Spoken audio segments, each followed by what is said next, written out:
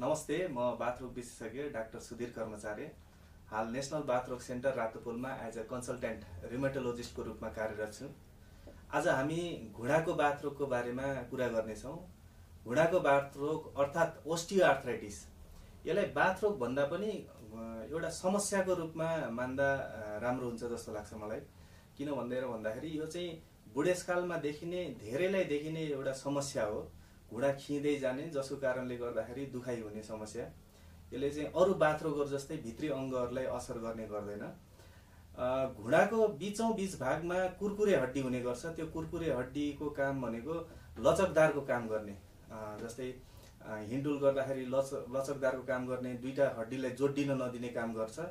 तर उमेर ढल्किँदै जाँदाखेरि त्यो कुरकुरे हड्डी खिँदै जाने। र त्यसले गर्दाखेरि दुईवटा माथिको र तलको हड्डी ठ्याम्मै जोडिँदा त्यसले घस्रण गरेर दुखाइ हुने पानी जम्ने जस्ता विभिन्न समस्याहरू निम्त्याउने गर्छ। अब यसको कारण चाहिँ थुप्रै हुने गर्छ। जस्तै अब प्रमुख कारणमा उमेरको कारणले जस्तै चालिस पचास वर्ष नागेपछि बढी देखिने गर्छ यो रोग। कसै कसैमा चाहिँ ओजन शरीरको ओजन एकदम बढ्दै गयो भने चाहिँ यो चाँडै देखिने गर्छ। कहिलेकाहीँ अब गाउँघरमा चाहिँ धेरै काम गर्नुपर्दा उकालो ओह्रालो घाँस दौराहरू बढी गर्नुपर्दाखेरि गाउँघरका महिला पुरुषहरूमा अलिक बढी देखिने गर्छ।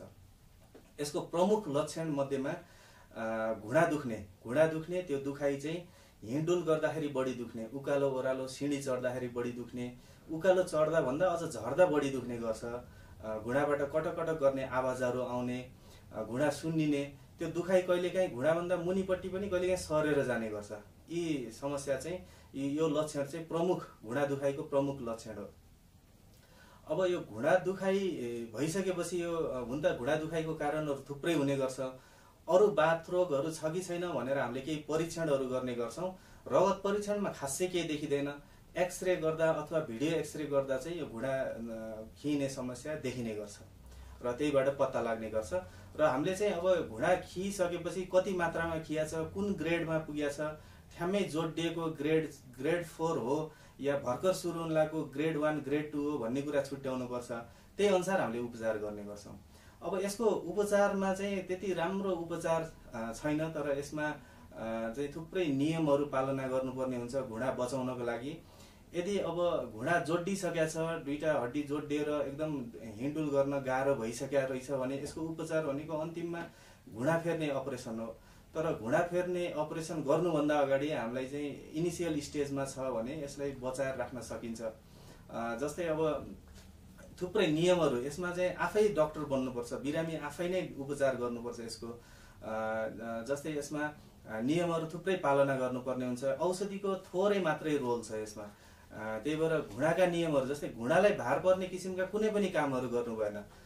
जस्तै अब घुँडा खुम्चाएर बस्ने पलेटी कसेर बस्ने कामहरूलाई बन्द गर्नुपर्छ धेरै बेर उभिने धेरै बेरसम्म एकदम घुँडालाई भार पर्ने किसिमले दौडिने खाल्टाखुल्टीमा हिँड्ने कामहरूले यसलाई झन् बल्झाउने गर्छ यिनी कुराहरूलाई मिनिमाइज गर्नुपर्छ।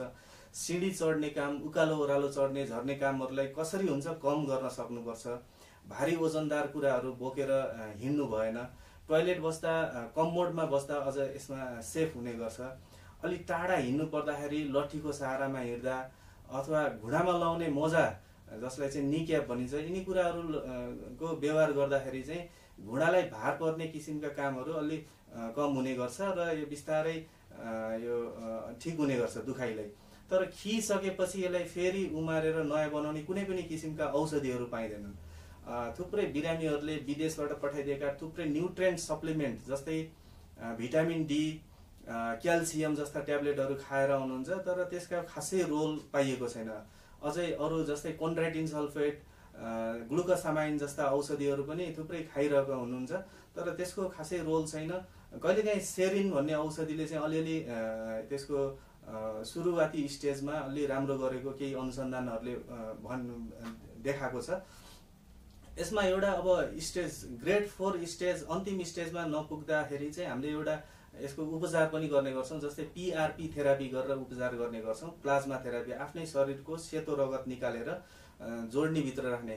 यसले पनि केही हदसम्म दुखाइलाई कम गर्ने र भित्र भएको जुन कार्टिलेज हो त्यो कार्टिलेजको रिग्रोथ गर्ने पनि काम गर्छ कहिलेकाहीँ। र यसमा अब कहिलेकाहीँ दुखाइ भयो भने दुखाइ कम गर्ने औषधि खाइन्छ। र अन्तिममा म के भन्न चाहन्छु भने भन्दा घुँडा खिने बाथरोग सुरुवाती अवस्थामा छ भने त्यसको चेक जाँच गरेर त्यसलाई पत्ता लगाएर अनि हामीले यी सबै नियमहरू मानियो भने चाहिँ अपरेसन गर्नुपर्ने स्थितिसम्म पुग्नु पर्दैन भनेर म अन्तिममा यो कुराहरू यहीँ टुङ्ग्याउन चाहन्छु। हस् नमस्ते।